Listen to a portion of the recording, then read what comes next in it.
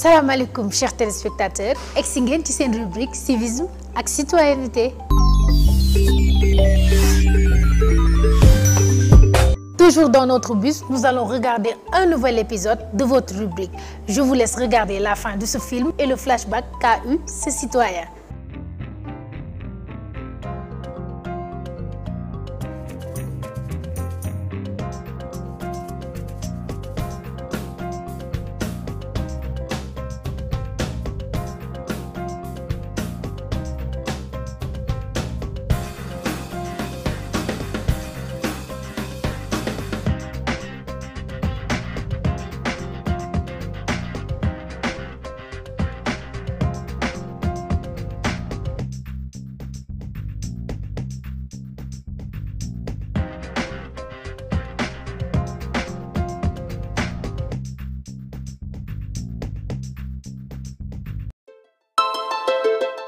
De nos jours, on a tous été témoins ou même victimes du manque de civisme dans ce pays.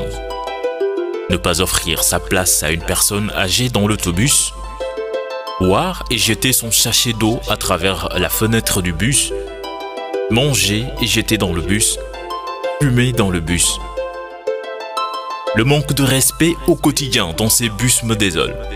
Comment en sommes-nous arrivés là? Est-ce que nos parents se comportaient-ils ainsi? Est-ce que le civisme est appris à l'école comme il se doit? Comment changer le comportement de tout un chacun pour une vie sans manque de civilité? Comment peut-on voir un Sénégal émergent avec ces détails si importants que l'on minimise? On se rend compte que les gens ont tendance à être de plus en plus égoïstes et individualistes. Faire preuve de civisme est donné à tous, pourquoi les gens ne l'appliquent pas davantage Aujourd'hui, j'ai appris beaucoup de choses sur la façon dont on doit se comporter dans un bus ou un autre lieu public. Le vieux avait raison de râler, c'est vraiment pitoyable de voir ce genre de scène dans un bus où l'on peut noter que la majorité sont des jeunes et cette jeunesse qui doit prendre le relais de ce pays. Alors, il urge de se demander à quand le changement de nos mentalités. Jeunes du Sénégal, réveillons-nous et contribuons à l'émergence de ce pays Soyons de bons citoyens, apprenons aux enfants le sens du civisme et la citoyenneté. En tout cas, je prends acte et je vais mener ce combat pour la renaissance du civisme de sorte que tout un chacun puisse avoir un comportement exemplaire et patriotique comme la civilité, la politesse, la citoyenneté, la courtoisie, la serviabilité. Nous devons apprendre à vivre comme des frères.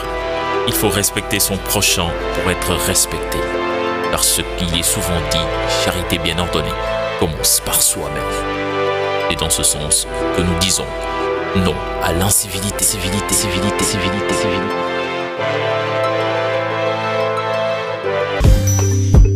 Voilà ce qu'un bon citoyen doit se dire. Ne jamais faire des gestes d'incivisme que nous avons tous vus dans ce film et faire de ce combat le sien. Maanaam ni ngeen ko gisee ku ci nekk war naa xeex li nga xamante tout à civique.